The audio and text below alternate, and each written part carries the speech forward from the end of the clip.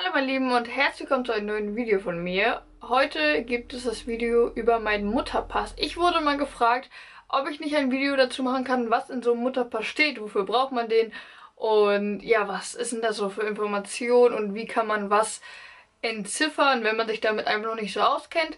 Und alle, die dieselben Fragen haben, die können auch bitte dranbleiben. Viel Spaß!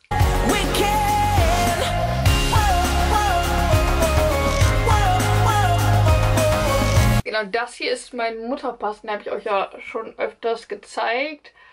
So sieht der aus und von außen kann ich euch schon mal sagen, das ist einfach ein Mutterpass. Und hier steht einfach euer Name und darunter steht euer Geburtsdatum. Das heißt, dass er wirklich nicht mehr verwechselt werden kann.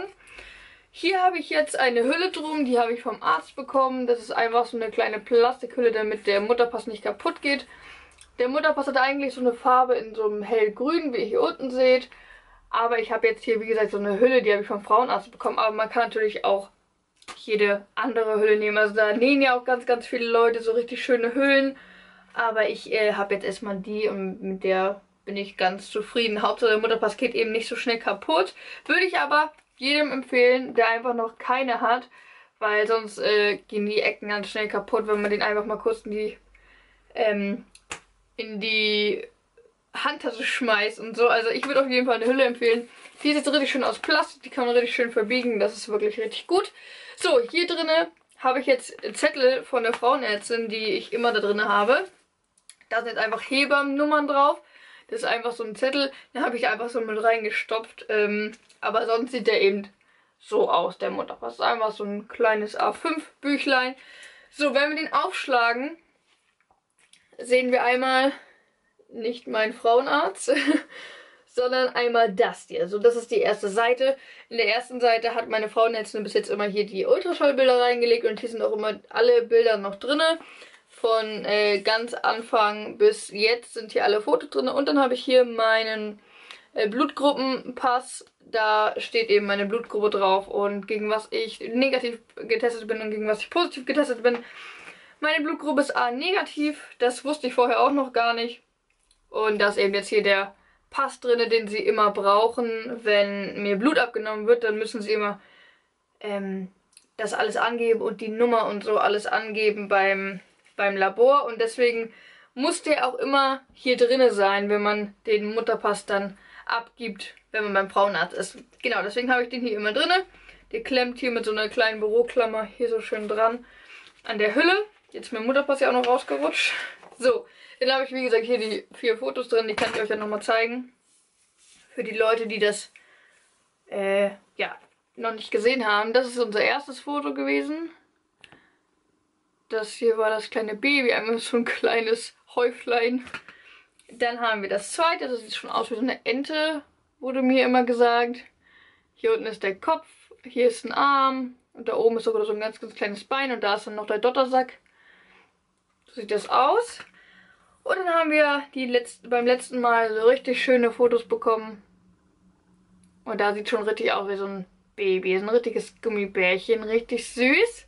Und natürlich noch so einen richtig, richtig süßen Fußabdruck. Ich glaube, das seht ihr gar nicht, oder? Kamera, kannst du das mal fokussieren? Naja, hier ist auf jeden Fall so ein kleiner Fußabdruck. Da sieht man auch schon alle fünf Zehen drin. Also das ist wirklich richtig, richtig krass. Und die habe ich jetzt, wie gesagt, immer hier der Reihenfolge genau in dieser Ecke hier drinne. Und dann ist auf der nächsten Seite hier immer die nächsten Frauenarzttermine, die man so hat. Da ist dann auch ähm, immer zugeschrieben, bei welcher Ärztin es ist oder was dazu gemacht wird. Hier zum Beispiel wird noch ein Zuckertest gemacht. Und da steht immer dabei. Hier oben ist, äh, sind eben die Stempel vom Frauenarzt oder von der Hebamme oder so drinne. So, dann geht's weiter. Hier sind alle meine...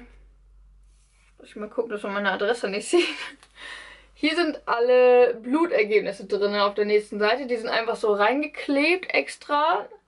Und hier steht eben drin, dass ich zum Beispiel gegen Toxoplasmose nicht immun bin oder HIV und alles Röteln.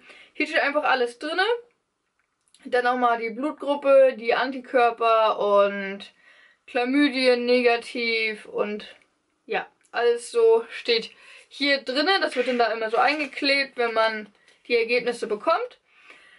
Dann auf der anderen Seite geht es weiter. Da habe ich mich noch gar nicht so mit befasst. Hier sind auch nochmal ähm, weitere Ergebnisse vom Bluttest. Also hier steht es zum Beispiel mit dem HIV, dass ich da äh, immun gegen bin. Und dann sind hier so ein paar Sachen angekreuzt, was die Frauenärzte eben immer machen müssen. Zum Beispiel Beratung der Schwangeren im Thema Ernährung, Beruf, Risikoberatung, Geburtsvorbereitung.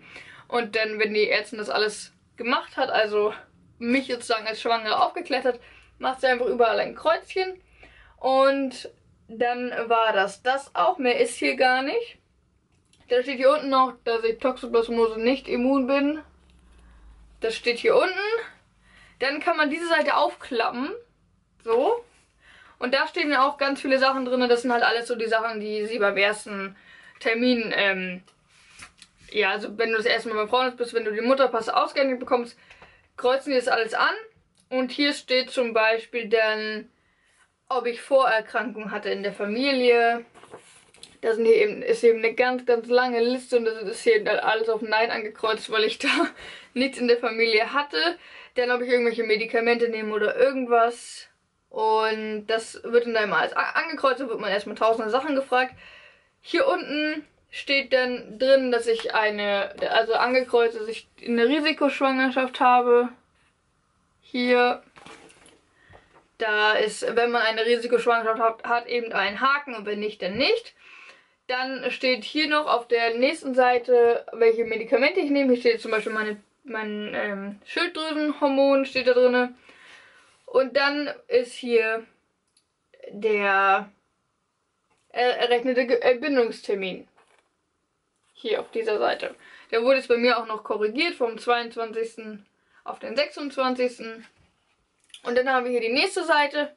Die kann man ebenfalls wieder aufklappen. Und da sind alle Ergebnisse drin von den ganzen Untersuchungen. Also da ist, wird wirklich alles eingetragen. Hier zum Beispiel der erste Termin, der zweite und der dritte Termin. Und dann steht hier das Datum, wann der Termin war, in welcher Woche man war, ob man eventuell korrigiert wurde, ob das Kind Herztöne hatte, ob es Kindsbewegungen gab, das Gewicht der Mutter, die ja, Blutdruck, Blutdruck dann weitere Angaben zum Embryo und dann, ob es eine vaginale Untersuchung war oder nicht. Und dann noch sonstiges, was empfohlen wird oder nicht. Und das geht dann immer so weiter. Das wird immer ähm, ja, bis zum Ende der Schwangerschaft wird halt jeder Termin hier wirklich eingetragen.